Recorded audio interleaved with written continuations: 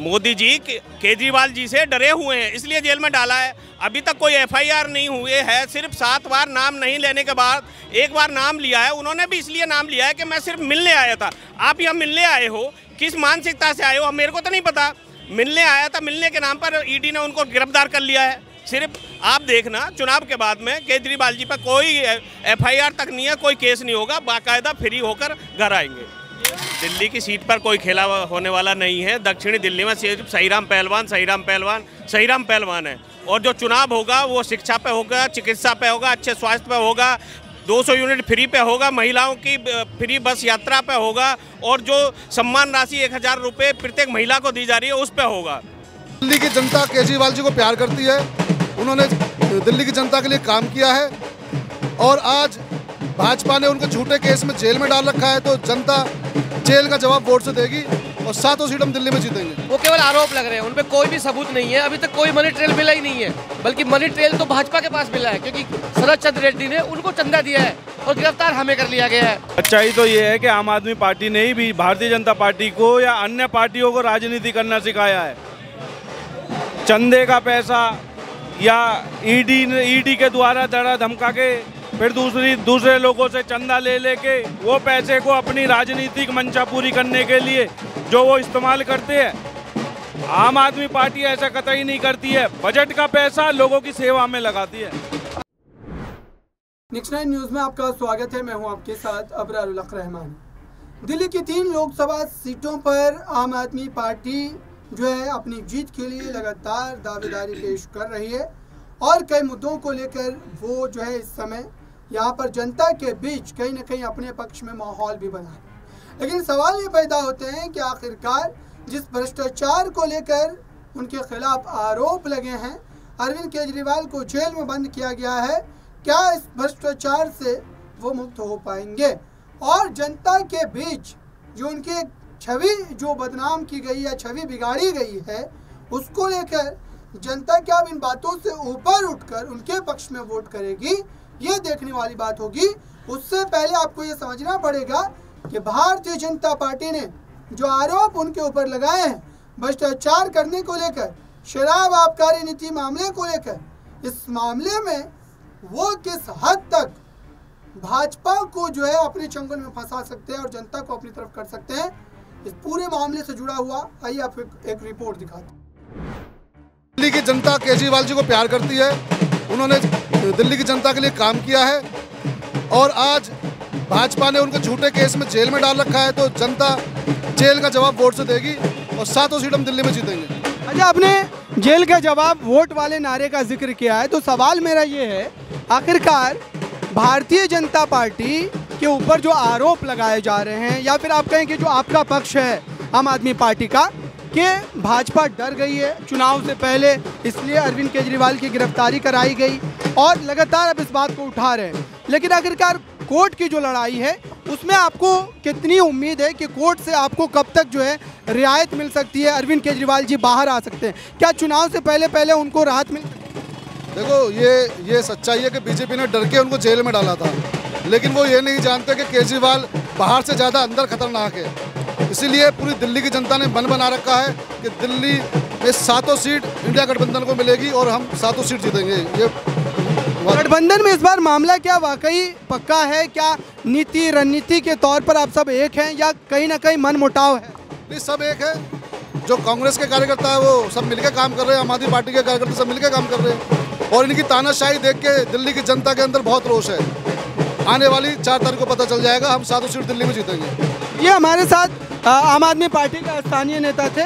आपको क्या लगता है इस बार सही राम पहलवान क्या वाकई जो है साउथ दिल्ली की सीट पर अपना जीत का परचम लहरा रहे बिल्कुल सही कहा आपने। सही राम पहलवान जी इस सीट से जीत रहे हैं। और ये इसी सीट से नहीं सातों सीटों से हम जीत रहे हैं। और कौन से मुद्दे आपको लगते हैं? खास करके शराब आबकारी नीति वाला मामला काफ़ी ज़्यादा गंभीर है।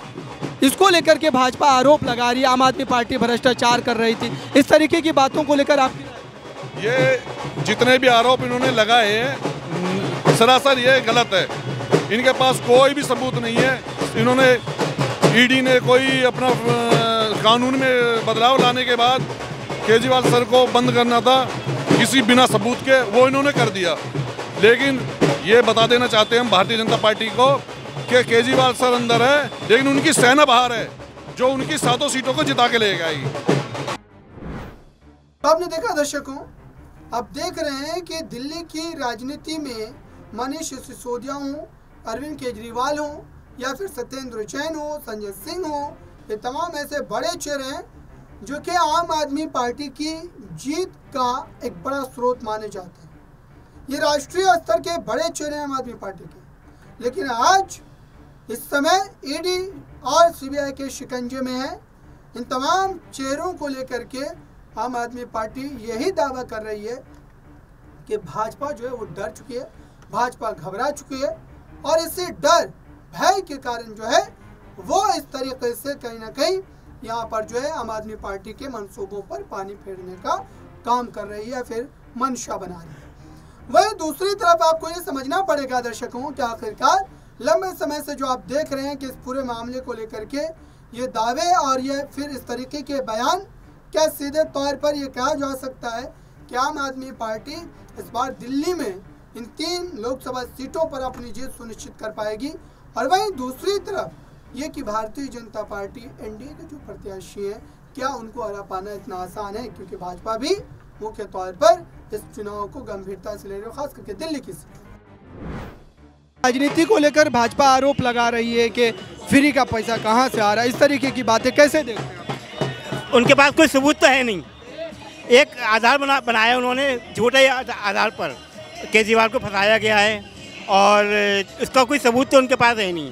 और जबरन उनको जेल में डाला है जिसका कोई मतलब कोई देखा जाए तो कोई तुक मतलब आप कह रहे हैं कि जबरन जेल में डाल दिया गया उनको जो फंसाया गया है आम आदमी पार्टी लगातार यही बात कह रही है। लेकिन आखिरकार कोर्ट की लड़ाई को कैसे देख रहे हैं? चूँकि कोर्ट में अभी भी सुनवाई हुई है हियरिंग हुई है तो आपको क्या लगता है कि कब तक उनको राहत मिल पाएगी जो है चुनाव से पहले, चुनाव के दरमियान या चुनाव के देखिए, राहत तो मिलेगी क्योंकि परवरदिगार हमारा जो इंसाफ के साथ है और इंसाफ होके रहेगा। आज नहीं तो देर, लेकिन जब केजरीवाल की सरकार बनेगी तो इंशाल्लाह ये मतलब केजरीवाल बाहर आ जाएँगे। बिल्कुल दर्शकों तो ये तमाम लोगों की राय है अपनी अपनी और भी लोग हैं इनसे समझते हैं। आखिरकार इस बार दिल्ली की जो है इस सीट पर क्या खेला होने वाला है और क्या आपको लगते हैं मुद्दे जो है वो हावी दिल्ली की सीट पर कोई खेला होने वाला नहीं है। दक्षिणी दिल्ली में सिर्फ़ सहीराम पहलवान सहीराम पहलवान सहीराम पहलवान है।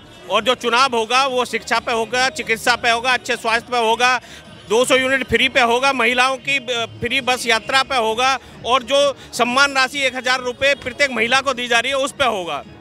इंफ्रास्ट्रक्चर पे होगा। और कोई चुनाव नहीं है किसी तरीका से कोई टक्कर में नहीं है सिर्फ़ सहीराम पहलवान सहीराम पहलवान सहीराम पहलवान। अच्छा एक सवाल ये है कि आम आदमी पार्टी के शीर्ष स्तर के नेता इस बार जेल में हैं क्या लगता है आपको कितना जेल में इसलिए हैं मोदी जी डरे हुए हैं। मोदी जी केजरीवाल जी से डरे हुए हैं, इसलिए जेल में डाला है। अभी तक कोई एफआईआर नहीं हुए है, सिर्फ़ सात बार नाम नहीं लेने के बाद एक बार नाम लिया है। उन्होंने भी इसलिए नाम लिया है कि मैं सिर्फ़ मिलने आया था। आप यहाँ मिलने आए हो, किस मानसिकता से आए हो मेरे को तो नहीं पता। मिलने आया था, मिलने के नाम पर ईडी ने उनको गिरफ़्तार कर लिया है। सिर्फ़ आप देखना, चुनाव के बाद में केजरीवाल जी पर कोई एफआईआर तक नहीं है, कोई केस नहीं होगा, बाकायदा फ्री होकर घर आएँगे।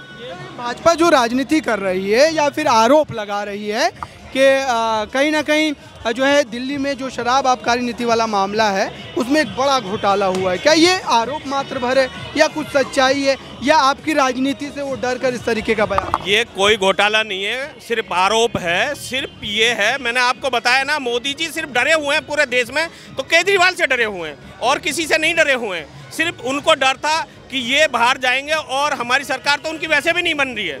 लोगों सबसे पहले तो ये सवाल है कि अरविंद केजरीवाल के जेल में बंद होने के बाद भी क्या आम आदमी पार्टी उस तरीके से चुनाव प्रचार प्रसार कर पाएगी और क्या जनता उनसे सीधे तौर पर जुड़ पाएगी? क्योंकि मनीष सिसोदिया भी जेल में दर्शकों, और यही तमाम ऐसे फैक्टर हैं जिसको लेकर के यहाँ पर आम आदमी पार्टी की मुसीबतें जो है वो लगातार बढ़ती हुई नज़र आ रही फ़िलहाल इस पूरे मामले को लेकर के आपकी राय क्या है कमेंट बॉक्स में ज़रूर बताएँ और जुड़े रहें नेक्स्ट न्यूज़